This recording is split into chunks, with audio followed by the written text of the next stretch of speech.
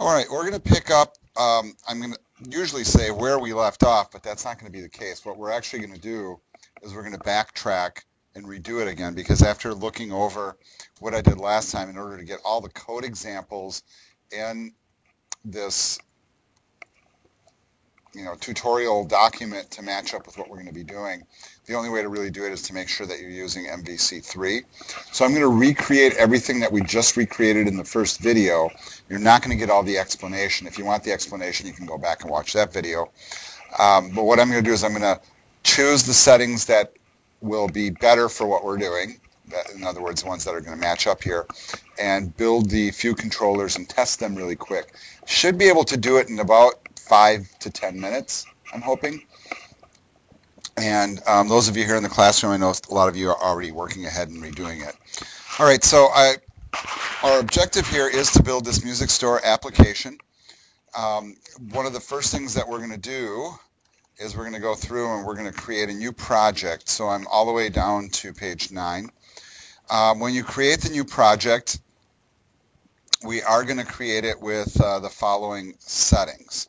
So we are at the top of page 12. So I'm going to go over to Visual Studio. I am using Visual Studio 2012. I'm going to do New Project. Make sure I have C Sharp selected. And I'm going to do an MVC3 application, making sure it's C Sharp. I'm sticking with the .NET 4.5 framework. MVC3, 4.5, and C Sharp. I am going to rename my application again. This time I'll put dashes in it.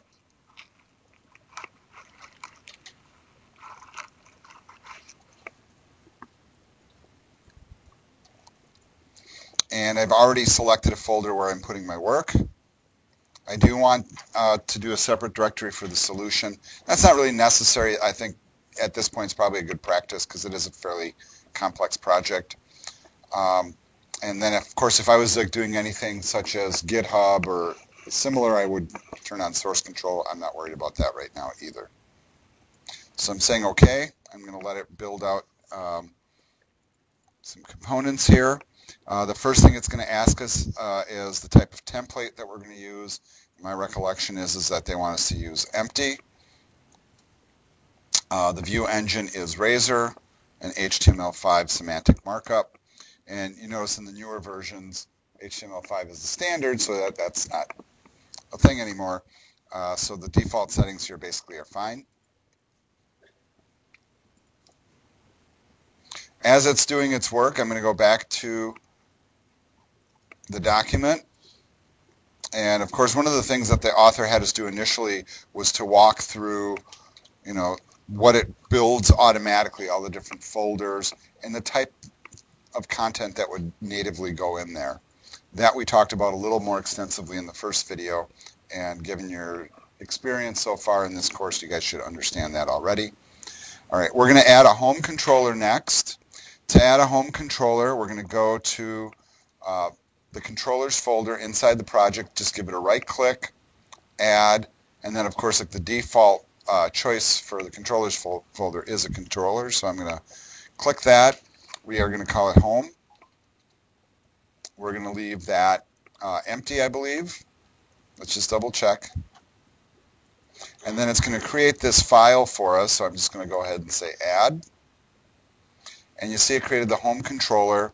And then what they wanted us to do is just do a, a simple alteration in the return statement here for the index method.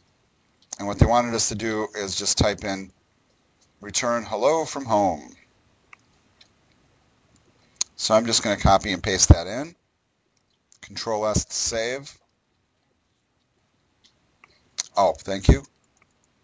Just being reminded that I failed again. You should have you should have let the thing fail on launch. It would have been more interesting, but you were being polite. So yes, I do need to change the return type to string. Um, and you just see I, I just typed in that simple message or pasted it actually. So I'm going to go ahead and hit the play button here and have it come up in the browser. Just happens to come up on my second screen, so let's pull it back over. And you can see that the default index page from the home controller is being brought up successfully. Back to Visual Studio, to hit the stop button.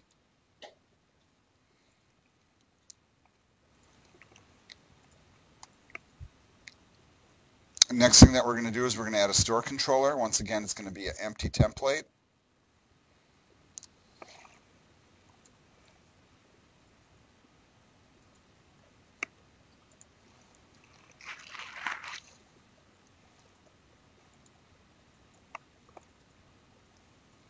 Can see the store controller came up on the screen here. And then we're going to replace some of the code in that file with the following. I'm just going to copy it right from the text, Control C. I'm replacing this part here. And this one, once again, has three different methods inside of it. Right now, they're all set to return strings. There's the index method, that's the default. Browse, and details. Each one of them has a different message so that we know when we hit it that it will display the message that we need. All right, let's Control S to save. Play button again.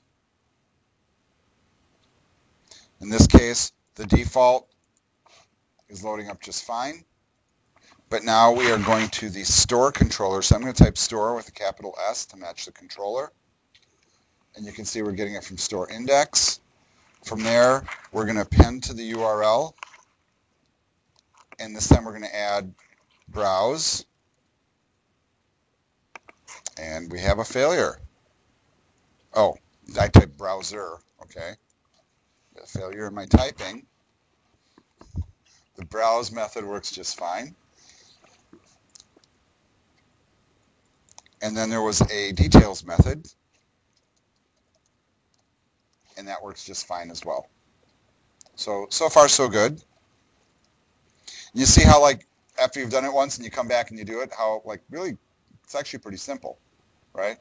But when you're trying to like read through all the ideas and the concepts and, the example, you know, it's like your head's swimming and you're trying to do something and it, you're not really locking into what you're doing. Uh, so hopefully that, just by doing it again, really kind of helped clarify things. Once again, uh, we just saw this in action, but how you try the different URLs and how the URL points to the controller and the methods within the controller.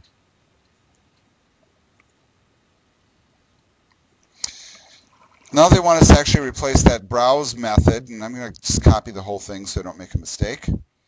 Um, but what they're going to do is they're going to add um, an argument here. So we're going to have the capability of passing to the method a string, which will be received, concatenated, and then it runs through this special method here.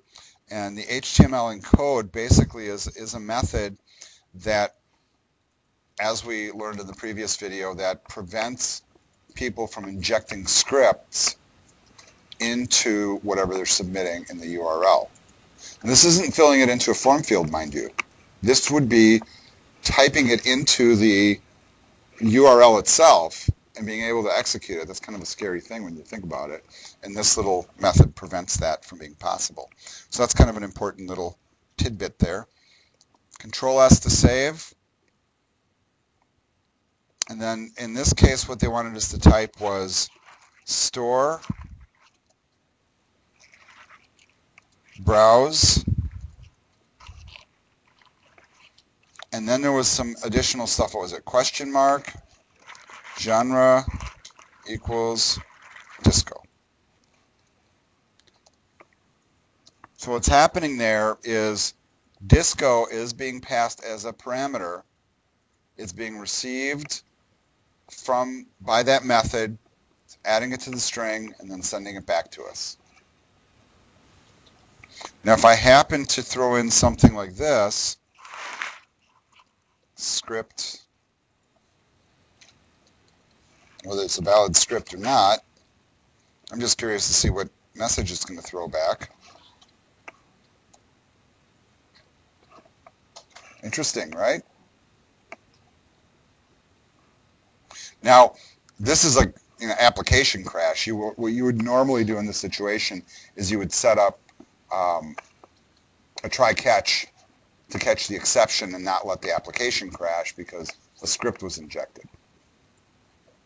What you might want to do is try to find a way to lock that person out of out of there. But then again, you know, keep keep in mind some people fall victim to clicking on things errantly, and it's not necessarily the user's fault that they ended up in that situation. In fact, that's probably most often the case. Okay, back to Visual Studio and hit the stop button. And we managed uh, to get that one correct. Now we're going to change the details method. So I'm going to grab that whole method, replace details, and paste, saving it, and launching it once again. Uh, same type of concept here again. Uh, that being that we're going to pass in a parameter. This time it's a number. And this time it's just being added directly. We're not using that encode thing. Why is why is it not necessary here? Because we're not setting a string. Right? A number can't contain a script. Uh, that's that's the point. And as a result of that, it also kind of does something interesting to our URL. In this case, we'll be able to say store details, and then instead of the question mark genre equals, we can just do forward slash 5, and the 5 goes in as the value that's being passed. It's kind of kind of slick. Well, I typed in 54. Okay, 54. Studio 54. That's what I, that exactly popped into my head. You're dating yourself and typecasting your music preference all at the same time. All right, folks. So if uh, you guys, I'm guessing most of you here in the room are already ahead of me, which is fine. If you happen to be with me, uh, this is excellent repetition. So everything that we did in the first video, we managed to pull off in 11 minutes, it looks like. Something like that, 12 minutes. With, with a much briefer explanation. So we're going to kick in now at the page of top, the top of page 24, and we're going to be looking at views and models. All right. So we saw how controllers work, and in this case, the controller itself was putting something back up on the screen. That might be the case. Sometimes you will have controllers that will do exactly that. Other times the controllers will do more than that, uh, and it might just be to push us to a spot where we're either pulling in data, running some sort of programmatic logic, or just very simply creating a view. And th that's really kind of what they're focusing on here. Now, we are going to do a little bit of um, stuff here that's going to help facilitate that. All right, we're going to go back now to the home controller to read the instructions. And we're going to get it to return an action result. So we're going to go back to what this was. And I don't know if I can just control Z back to it. Try. All right, I was. So we need that home controller to end up looking like this. So the return is an action result. And then the return item is actually a method called view. So by default, when we go to the application, it'll launch index and it will generate a view which is of a data type called action result. So we're passing that type of object around. Control S to save. Now here's the interesting part of it. We want to add a view, right? And some of the neat tools that are built into Visual Studio that make your life so much easier is that, okay, well, I want to create a view for index. How am I going to do that? You can just put any put your cursor anywhere inside of the index method, right click, and then you'll notice that by default, it's got an option for add view. And then you will get this uh, dialog box that comes up, and I'm going to try to have these side by side here. And we're going to have some settings that we're going to want to make. The view engine that we're going to use, and the one that you've been taught in this course, is using Razor. That's kind of been a standard for a while now. Clearly it was standard or at least an emerging uh, standard back then. Um, notice some of the options here, the, the name, index, what other engines are available. Well, you can use ASPX. That's when if you're going to do standard ASP.NET. Um, notice that you can choose a master page if you have one, or if you have some sort of pre-configured layout. That can be brought in here. And if I was seeing all the instructions correctly, I think those are all the settings that we need to make. And you guys are also working on this, so if I'm missing one, just make sure that you point it out to me. All right, and then we're just going to go ahead and click Add. And as the book's pointing out, what that's going to do now is in the Views folder, it creates another folder called Home. That folder, of course, matches the home controller. It's not a mistake that it's called that. And then inside there we have our index, basically HTML file, in the form of a CS HTML file, meaning that C Sharp and the fact that we're doing um, the view is being generated by Razor. You can identify that you're working with Razor if you're looking at code pretty easily because you start seeing these at signs, you start seeing, the, seeing these things called like ViewBag, right? And there's special tools for helping us uh, do things. But when you say ViewBag title, what do you suppose that does if I launch the page?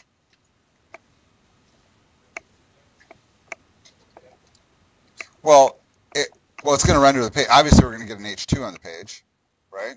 Somehow it's creating all the other HTML infrastructure somewhere, somehow, right? I'm not typing it in here. But it's telling us that the title tag at the top of the page is going to be populated with index. And just to prove my point,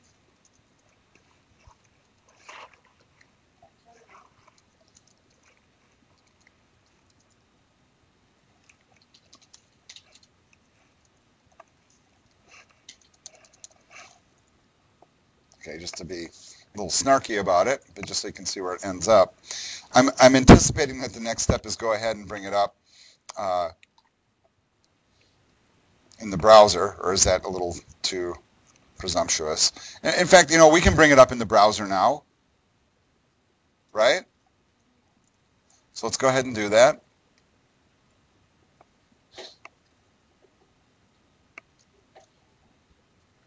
Something changed. Well, the fact that we used an HTML tag changed right? Because if you go back to Visual Studio, index was instead of H2 tags. Clearly that is not Times Roman. So there's some CSS happening here automatically as well. Thank you ASP.NET for automatically generating stuff. And then notice that the title, and if I do a right-click view source, you should always do this when you're learning a new technology, is see what it automatically generates. And notice not only is there CSS, but it also automatically bundles in the Modernizr and uh, the minified jQuery library. It's an older version, but it's still jQuery. It's there for, for the using. Additionally, that ViewBag title thing, that's what it did.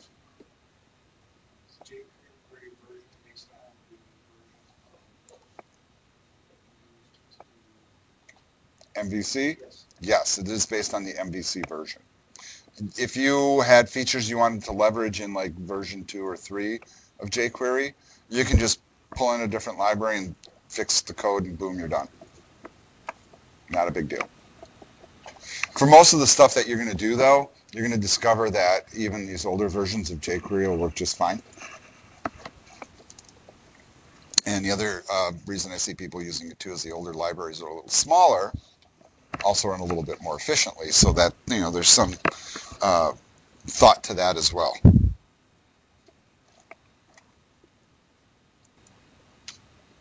Okay, now I'm going to jump back over to Visual Studio again. Hit the stop button. Let's see what our next set of instructions is.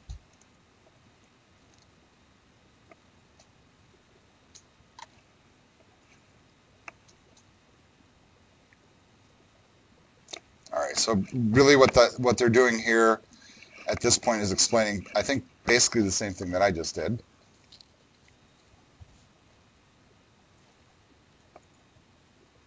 So if you, I mean, if you want to change what this stuff says, you know, feel free.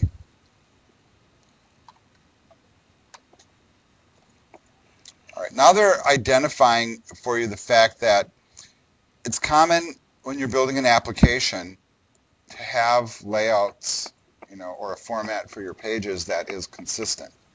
And chances are you'll have at least one main layout format for your site. It's kind of common sense. But chances also are, if it's a site that you're building in like this, that you'll probably have multiple views. And if remember when we were looking at like the sample version of the site before, how we had some views for like if we're looking at a list of genres and different views if we're looking at albums and then different views for looking at a shopping cart and they're all consistent but different at the same time.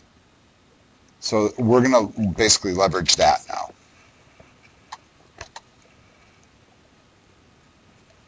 Now, stuff like that is going to end up in what they call the shared folder in this architecture. So if you go ahead and expand that, and actually I would take it even further and just go ahead and open up the file.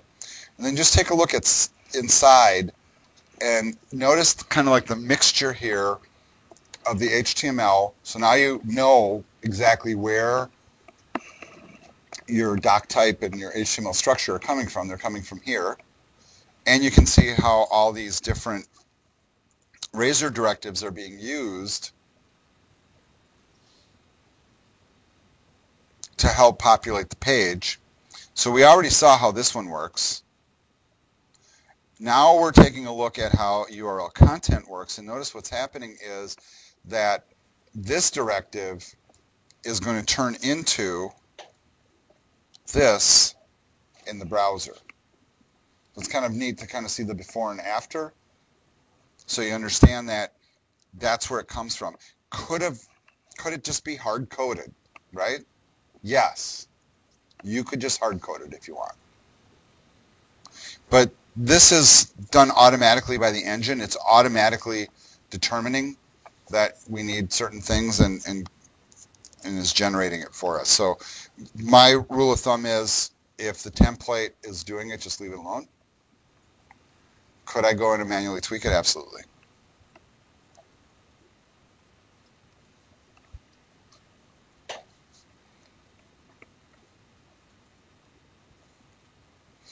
Um, all right, and actually, I should probably uh, jump back here because the other thing that they're pointing out here also is this directive or this method really is the proper way to say it, which says render body. So what this is going to do, this is kind of like a like a master page in a sense, and this is the area that's going to receive the content for the page. So the stuff that we saw here for the home controller, or excuse me, the home index page, and the only content is this. But then we also have the razor part, which allows us to populate the title. So this stuff is going to get inserted into the layout. The title obviously is going to be inserted here. And then everything else is dropped in here.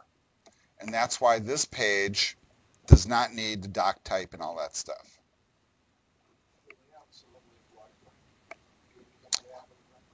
Yeah, you, in fact, you will have multiple layouts. In this case, this layout is very, very simplistic. But like I said, we might have a layout for the shopping cart, a layout for viewing the products, a layout for, you know, pick something and you can create a layout for it. And then you can selectively use the layout with specific content. And that will be something that can be programmatically controlled.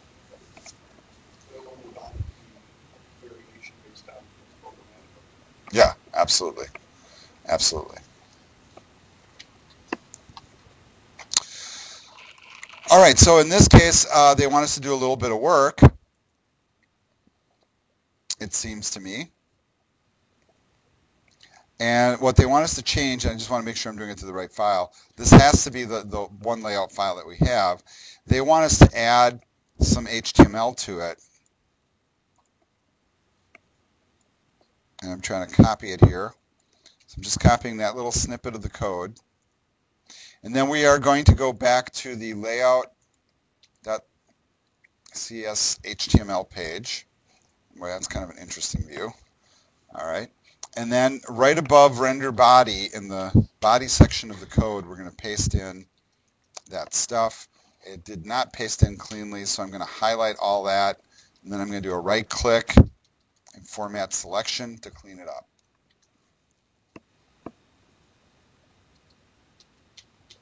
Now this is just static HTML, folks. This part of it. So in other words, this is something that's going to be inserted into every page that uses this layout. Notice that there's one hard-coded URL here. It's relative to the application. That's why it starts with a forward slash. So what it's doing is it's kind of pre-typing the URL. It's saying, run the application, and then go to the store controller index. That's what that's saying.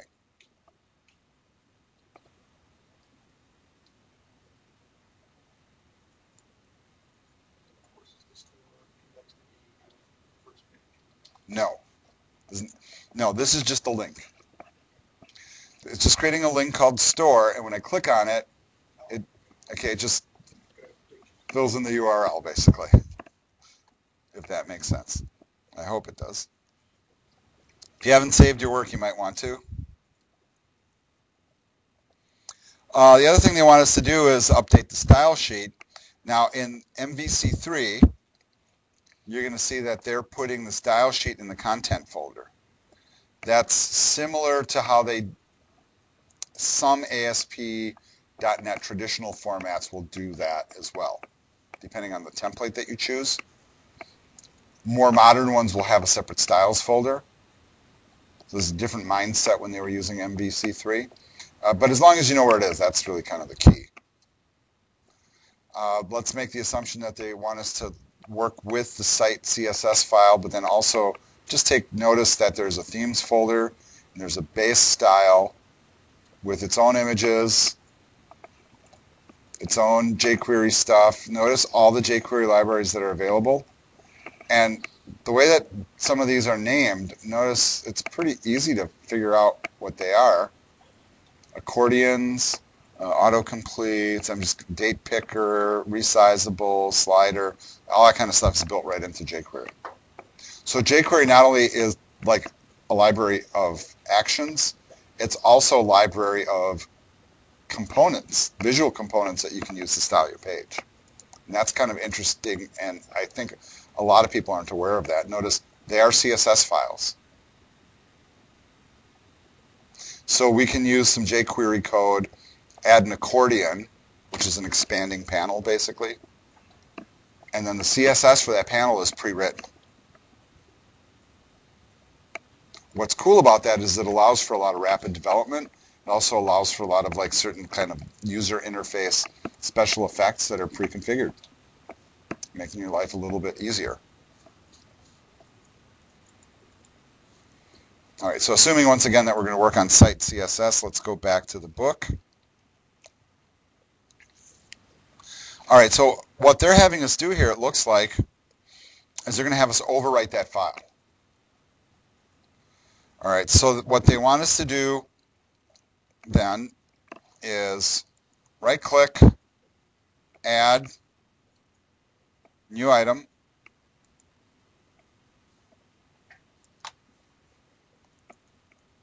We want to find style sheet. I'm just going to start typing style. Yes, we're in C sharp. They want us to call it the same thing. You know, and, and here's my little, like, I wonder why. Why not just go into the file that's there and delete everything? But, you know, we're just following instructions.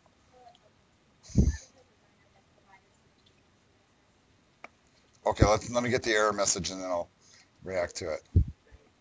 I won't be like the president. I won't tweet out my thoughts right away. All right, so Dragged and dropped.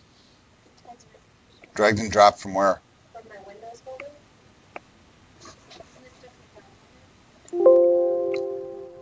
All right. So are going to get a, an error message because we're going to overwrite something. Okay, so we're going to do that. And now it's asking me to choose again. I'm just going to, I'm just following screens, folks. Or delete the existing item first. Okay, so I guess I should probably read the instructions then, right? All right. Yeah, if you go back, right there, it shows your Windows folder and that you just click it and. Oh, okay, so there is an instruction to drag and drop it in from the external folder. And I was telling you not to do it, okay? Well, don't listen to me very much then. All right, so apparently we need to go uh, back to our course folder here. Grab this zip file that's part of the assets. So I know I have that in my download folder, I believe. I just have to find my browser or the correct folder. And since I know it's in here, MVC.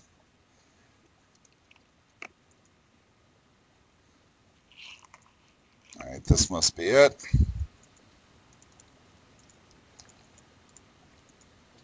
And I'm going to actually extract this to my desktop for now.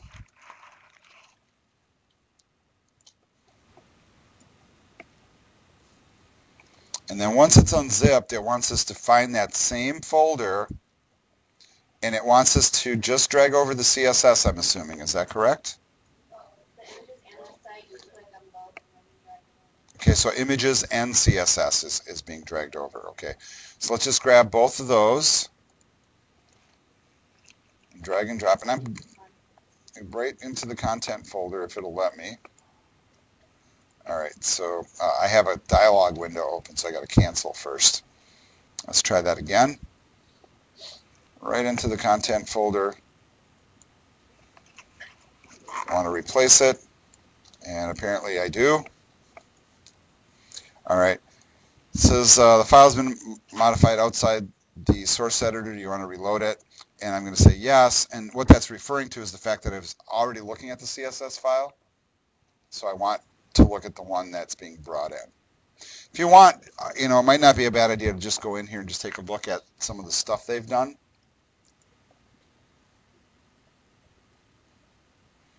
Chose fonts, some layouts, some images coming in,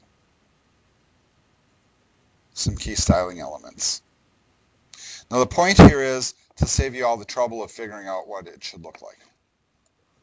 So we will be appreciative and just work with it. That does not mean that you can't go in and tweak this and make it look like something else. You absolutely can. All right, let's go back to Visual Studio, if I can find it on my screen here. Excuse me, back to the instructions.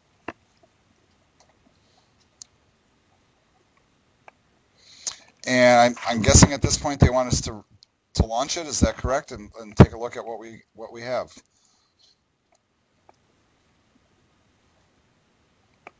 So I got to remember that CSS is linked up to that layout page, and then all the pages are pulling from that layout page.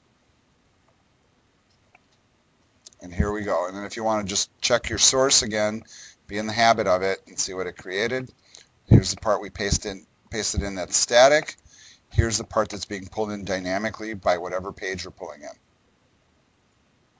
You want to test it with by clicking on store just to make sure that everything is still working. I'm going to close up some of these tabs here and hit the stop button.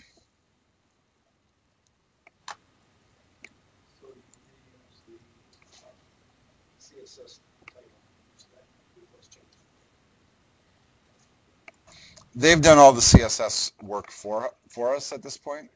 Rather than putting a new CSS file. Yeah, they, they're just using the one that's there. I mean, I mean, it's pretty common sense. If I wanted to use a different CSS file, I could put in one, call it whatever I want. Then I just go to the layout page, change the link, and it, it's going to work. It's not a problem. Um, but we're just following their instructions. So this author thought that it was good to just replace. So that's what we're doing.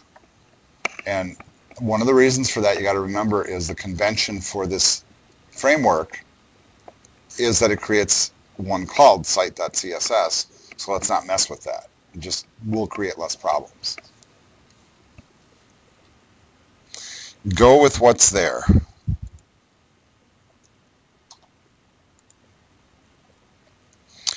All right, so we've created controllers. We just created a view. And now we're going to look at uh, a model. Now, from your studies, I'm hoping you understand that a model is a way to kind of both define data, work with data, um, interact with data in some sort of a repository. Um, so it's pretty powerful, but really, you know, the, the key of it all is the data, you know, that we have um, some sort of repository of information that we're interfacing with.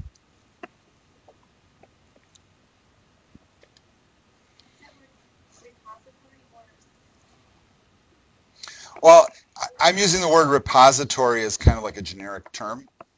So it's not like, I'm sorry, repeat your question? Well, repository, yes. Yeah, it's like where you're putting stuff. So it could be a database, could be a text file, could just be a JSON file. There's no no real hard and fast rule of how the data is going to be used and manipulated and stored. I mean, it really it's up to you, the application developer.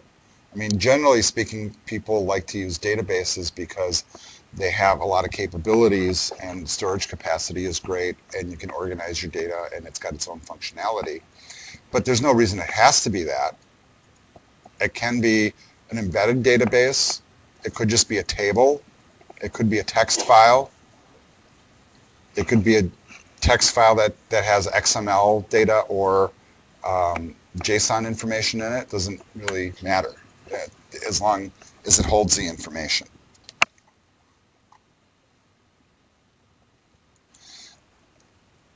Okay, so the next thing that we need to do, um, knowing that a model works with information, is we need to actually define a model. And the first one I think they're going to have us do here is one that's going to hold the genres of music. And like we did with the controllers, we're just going to right-click the models folder. We're going to add a class file. So all models really do sit inside of a class file. That's how we generate them.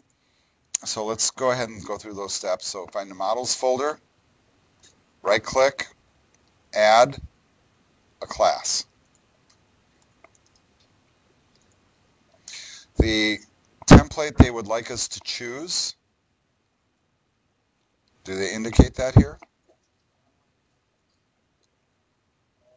Yeah, they're not really indicating a template, are they? So what they want us to do is just we're creating a generic class file. It's going to be called genre, or however you think that should be pronounced. And you can, you can add the .cs if you want. And there's no other real options. It's just going to be an empty C sharp file. By default, it imports all the stuff that we use most often in MVC applications. It sets up a namespace, and it sets up the class.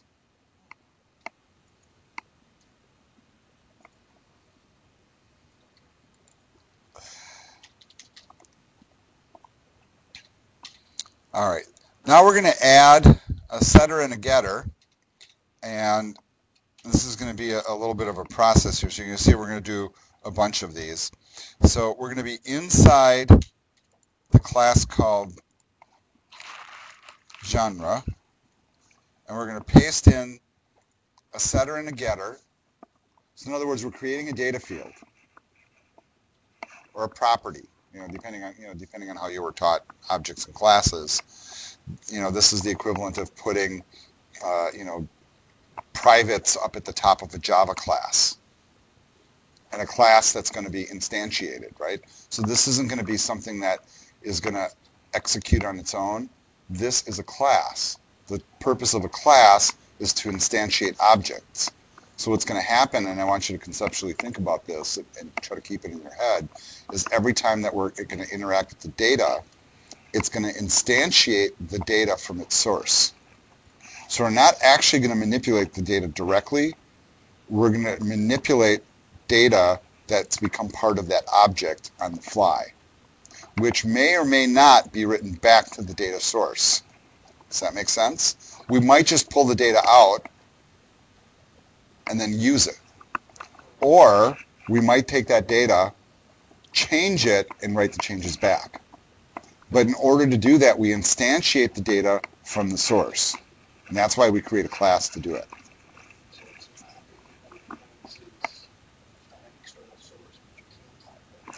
Well, here, here's the trick. It's not that it has no not that it has no dependencies, because it can have dependencies. Uh, but in this case, it is the portal to the data, and can also be the blueprint to build the data at the same time. Okay, so that's the power of MVC, folks. That I can create a, a model for data for a database table that doesn't even exist. And then this will help to generate that database table if it's not already there. Okay? And that's kind of the fun of it. All right, Control S to save. Now the subsequent ones here uh, is we're going to create an album class. So we're going to follow the same procedure. So right click, add, class, call it album.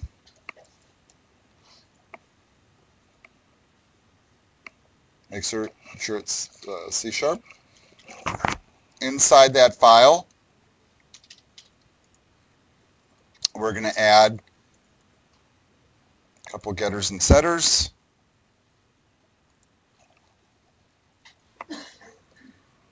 And if you look at the stuff that's being added here, right, for genre, what what are the different types of music? You know, um, all we need to know is the name, right? But for an album, it's kind of nice to know the title and what type of music it is. And really, you could argue year it's released, the artist. You could put all sorts of stuff in there. But there's a strategy here. They, they do have a strategy. So Control S to save.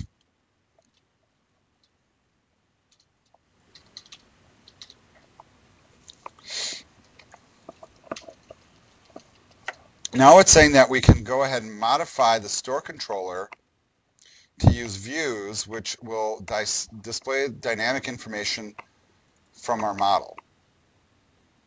Okay, so even though we've done some of this work, we're creating the model in the aftermath, and now we want to look at the stuff that the model is pertaining to. So we have to adjust our views and our controllers to accommodate for this. So you see uh, what's going on there. The first thing we're going to need to do is we have to add a using statement to the top of the store controllers. So let's find the store controller. You can see we already have some using statements, but now what we're going to do is we're going to use the syntax that we've generated by virtue of what, what we called our application. And you, you guys are going to see right away I'm going to run into a problem because I named my application something else. In other words, I didn't name it capital M, lowercase VC music store. So I'm going to have to tweak it, okay? And models is still going to work because there's a models folder in both spots. And this should flag an error. Now, if you guys, if yours is named MVC Music Store, in other words, that's what it says up here or up here, it'll match up just fine. But mine says something else. So actually what's kind of interesting here, honestly, is to type it in manually so you can see what IntelliSense would do with it. So I'm going to type using M and see how my application is, yeah. Even more interestingly, notice how it's being expressed. Not with dashes. Yeah. So I'm going to play the fool. I'm going to go, well, I type dashes.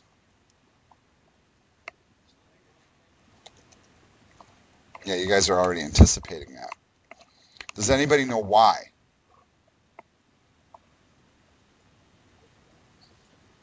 Well, there's naming conventions, but naming conventions for what?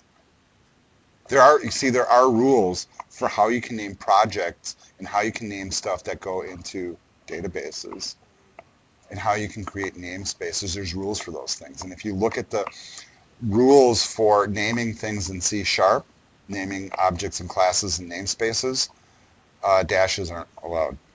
Oops. All right, well, I guess I'll, I'll go with I'll go with this other approach. It's too late now to, to undo it, apparently, right? So I'm just going with that. And then models. And see how it, it, it finds the stuff in the project for you. That's correct. Yeah, that is absolutely right, Carl. It, adding this allows you to use all the models within the application.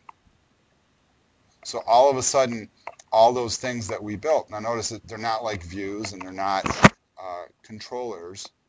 Well, they could be controllers, but any of the data models that we're going to build can now be imported into and instantiated and manipulated within this page that we're working on now, which happens to be the store controller. So it's kind of good for the controller to be able to have access to whatever models it needs, but interestingly, whatever controllers it needs too. We're talking like flexibility. Control S to save. All right. Now we're going to make some tweaks. First thing we're going to do is we're going to change things. So next we'll update the details controller action so it returns an action result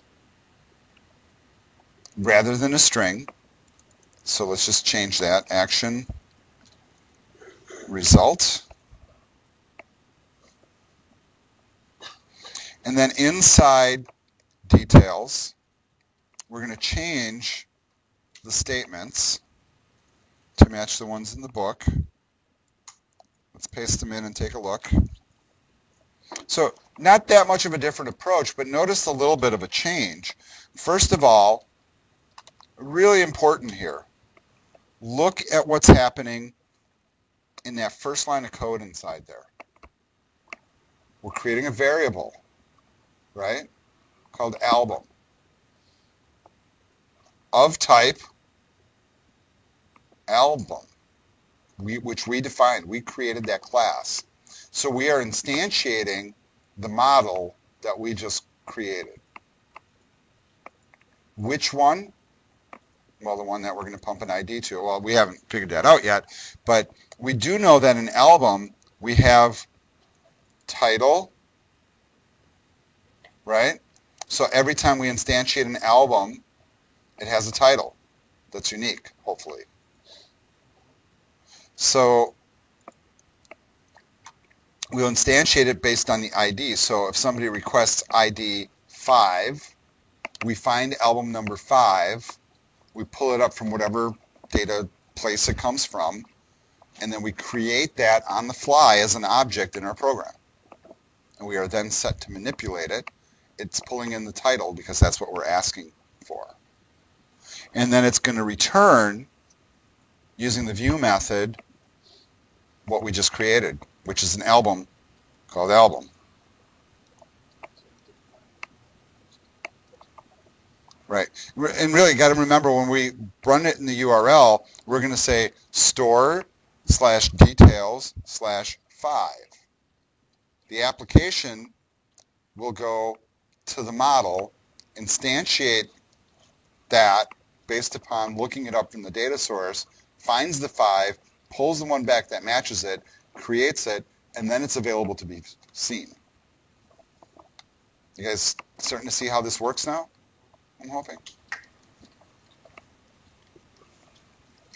The beauty, folks, the beauty of MVC is what we're doing here with ASP.NET and C Sharp. Any combination of technologies that does MVC does the same thing.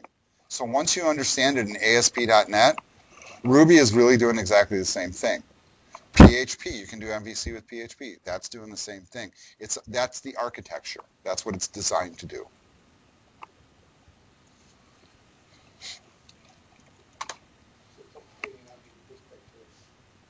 It's creating, yeah, and it's creating it on the fly. It's not pre-existing. It's creating it on the fly, as we as we call upon it.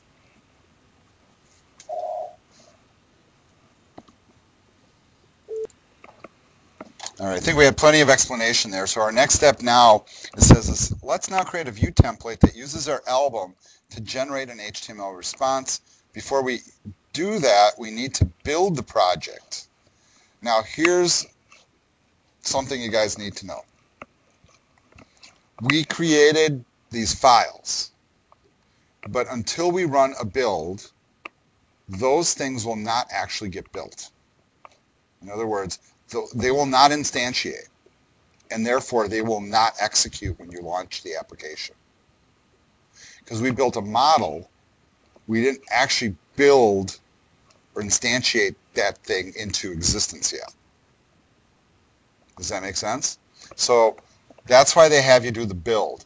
Now you can you can go to the menu like they show. In fact, uh, it's that's good to know, right? It's not my habit to go to the build menu, frankly. Um, kind of really haven't done that for years. But you can just click Build Solution. The other thing that you can do is come up here to the root of the project and just do a right click and do Build. Or Rebuild. And if you have problems, and you guys may have discovered this already in this framework and working with Java, that a lot of times what you do is you do a clean and you do a build, or clean and rebuild. And then in here, if you want to do a clean and rebuild, you do this one. But we haven't really built it much, so I'm just going to do a build. So if you made changes, you're confident they should work, and they're not working, that might be a thing that you've needed to do, especially if you're changing any of the models. The, with the models, that's critical.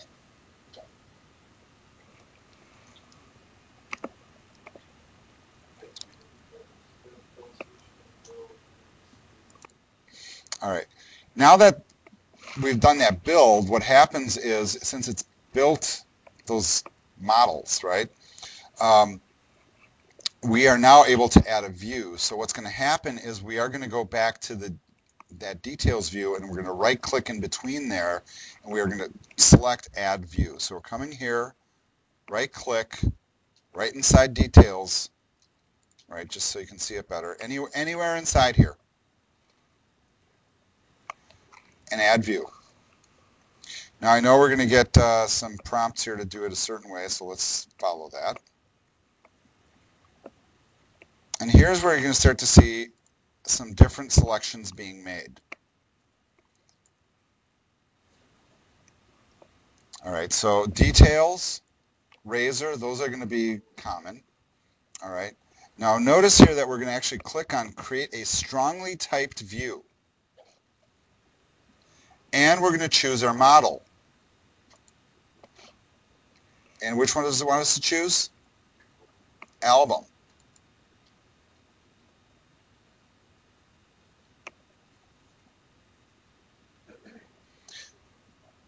Yeah, it's leveraging the fact that we have a model of data and we're going to build a view around that model. Okay. Uh, any other options it adds here? Scaffold template, empty. I want you to click on that one though. What do you guys see here? No, this is these are all the standard database operations.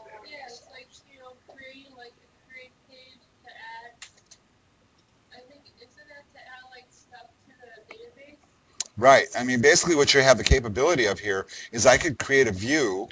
I could choose create and create a view that will automatically allow me to add stuff to the data model.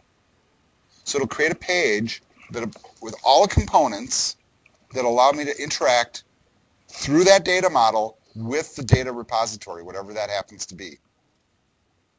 So if it's a database, I'm sorry? Yeah, in this case, that's not what I'm doing.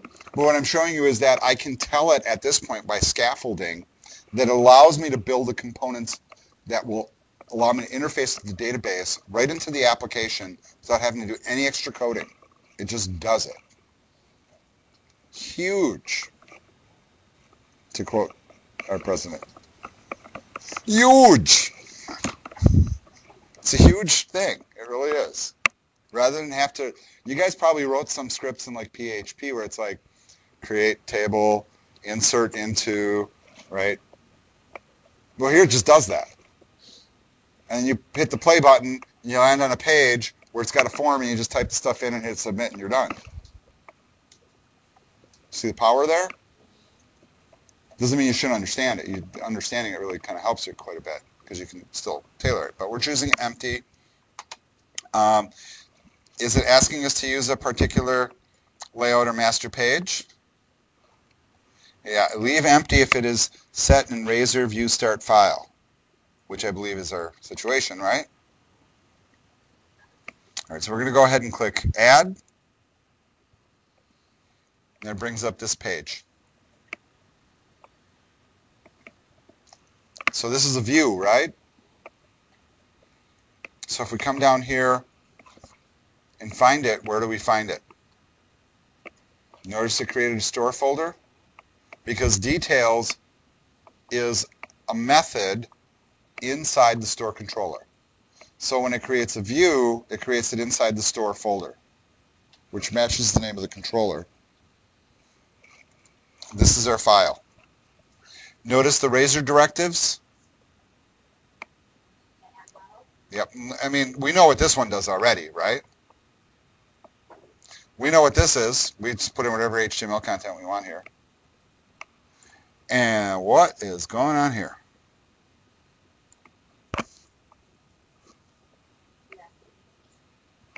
Yeah, I'm not, uh, hypothesize. Well, I, I, I like where you're going with that.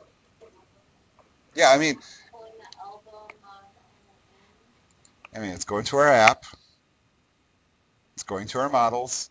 It's finding album.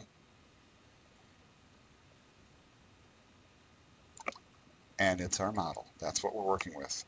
Our, our data is becoming instantiated.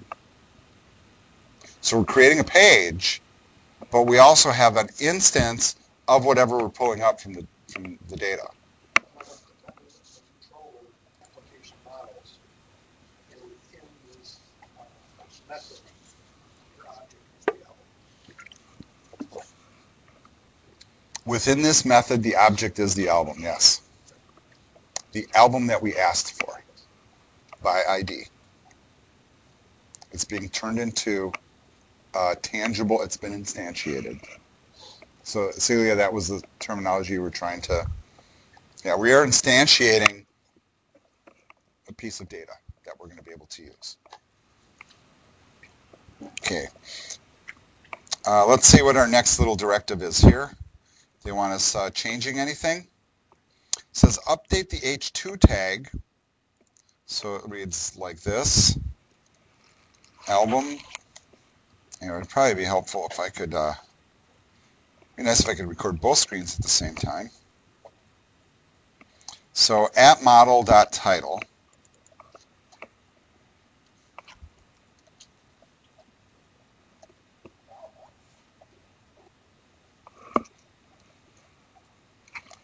you know what's fascinating about that is how that just does this stuff automatically because you see I could have pulled up title but it also recognizes that I have other choices that I've created too.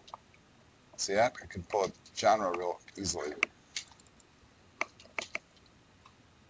So just like we did up up here here whatever our, our model happens to be we're going to pull back the title dynamically.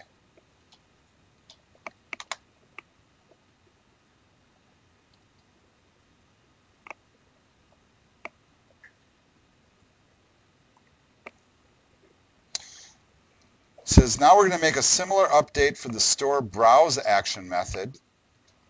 So let's go back to the store controller. Zoom out just a little bit. Where were we supposed to run it? Okay. Oh, well, let's run it then. What am I supposed to do with it?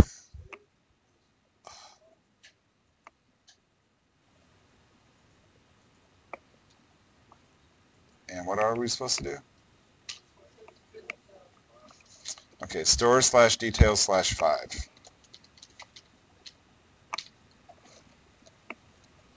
What should happen? We don't really have much yet, so. But it is working. Because we told the controller, I guess if you look at the controller, that we're going to concatenate the word album and the ID. So that's what it did. Pretty exciting. Hit the stop button. Okay. Uh, so now we're going to go back and we're going to work on the browse method. So back to Visual Studio, store controller, browse method. We're going to update that code to match this. So we're going to switch to action result, and then we're going to replace the interior code to this. All right, so I'm changing this to action result.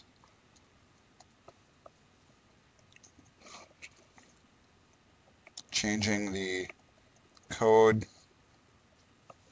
to that. Once again, notice the fact that we're instantiating. Nothing too much different than that. Control S to save. They want us to launch it again? Nope, we got to add the view first. We can't see it until we add the view. That's right. All right, so once again, anywhere inside this method, anywhere from the beginning to the end of it, you can right-click, add view. We're going to assume all the same settings. Automatically is called browse.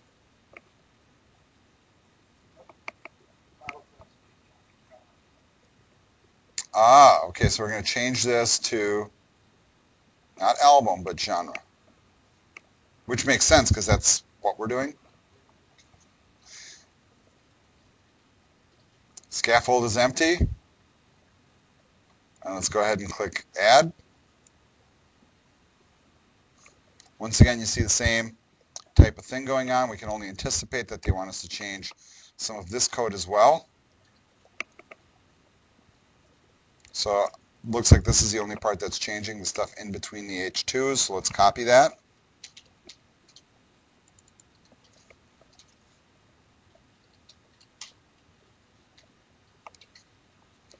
Save it.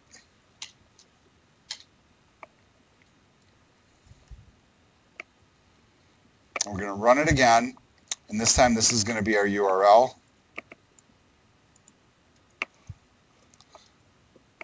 So hit play.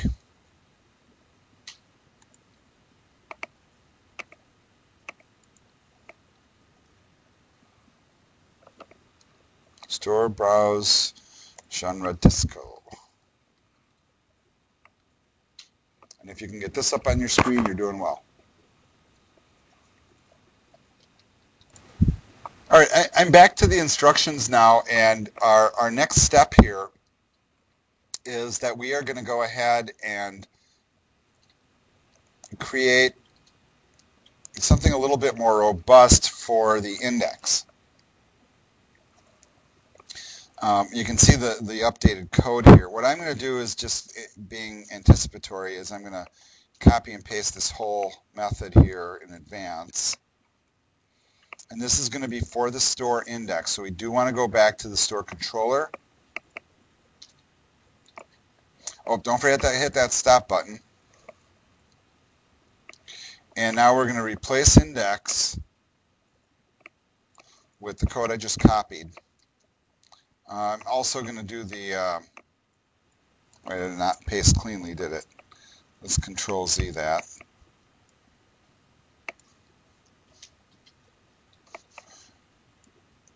And then I'm just going to do a right click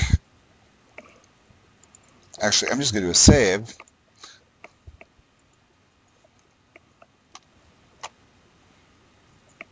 And then I'm going to do a little indenting here. So it looks like this.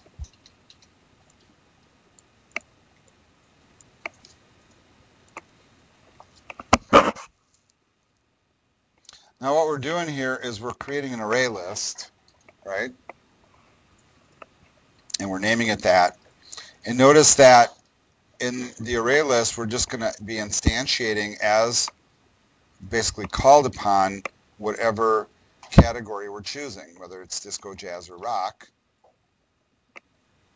And these are being, you know, predetermined values. Control S.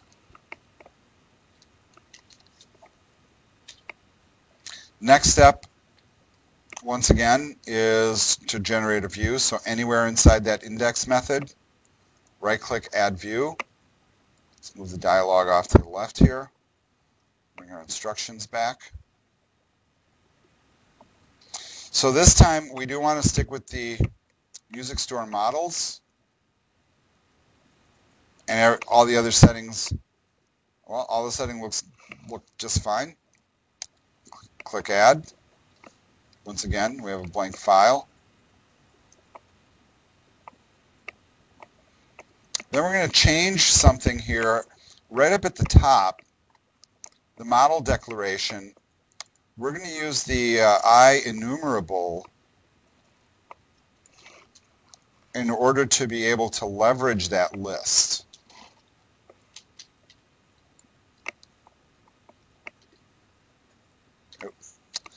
Don't need that declaration twice, just once. So what that's going to allow us to do is not only uh, instantiate, but to pick from that list that we put in the controller. Yeah, that that's because it, it wants to match up with what my project is, which is yeah, so see, I'm going to run into this problem the whole way through. So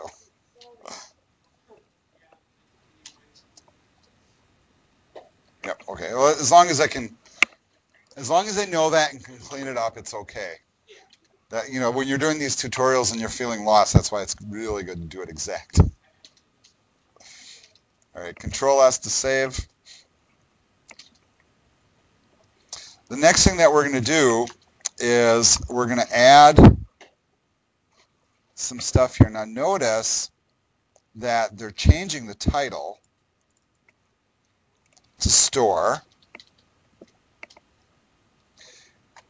We're going to change this to an H3. You know, I'm just going to copy paste. Maybe we could type it, I suppose. I'm just going to do it in pieces. So first we're going to put in an H3 in a paragraph. We've already seen what this does. But this is a method now. So with the model, instead of like pulling in a title, for example, now we're going to run a method that's count, so it's going to tell us how many we have. Then we're beginning an unordered list that within it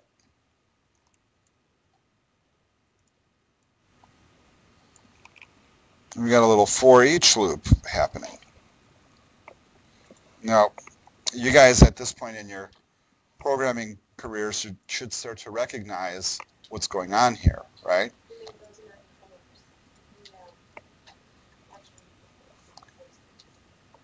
Right. In the controller, we do have this list. And what's going to happen here in this view is that we're going to leverage that list. First, it's going to start with a count.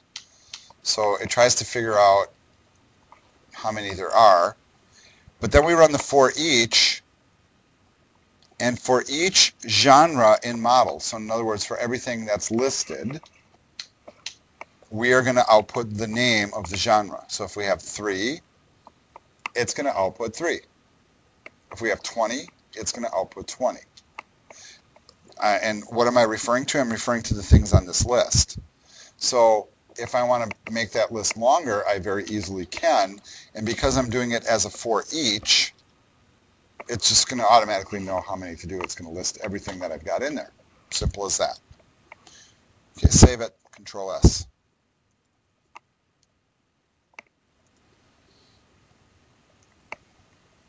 Now the one thing that they have you do, you know, is they, they like you to type it, apparently, just to so you can get a feel for what the IntelliSense does, you know, and that's not a bad thing to do because really that IntelliSense can really kind of accelerate your you know, work, I mean, you're not always going to have code to copy paste. Sometimes you're going to have to create it. So that can be uh, very helpful. All right, so we're at the bottom of page 40 now. We're going to go ahead and we're going to run uh, everything. I might suggest that before you begin, go up to your project node,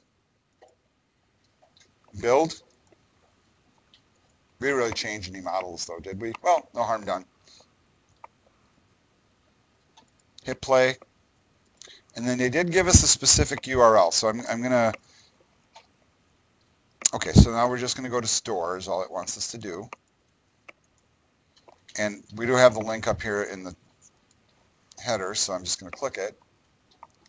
It did a count. And then it returned the three that we had. Pretty simple. Now, interestingly here, you know, we're doing this kind of simplistically right now, and, you know, I'm trying to keep that in mind because what we did is we're hard coding our list right here. Later on, it might actually make more sense to have that as part of our data structure as well. So in other words, you know, have that listed in the database as opposed to hard coded into a controller. Just to give you an idea.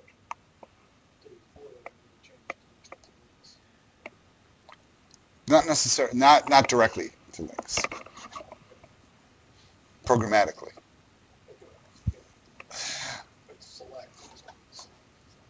All right. So hopefully this is uh, what you guys are getting up on your screen and we are successful. What I'm going to do at this point is I'm just taking note of the fact that we're finishing up on page 40 in this video. I'm going to stop this video here because it's getting quite long and then I'm going to start a fresh one and we're going to take a short break.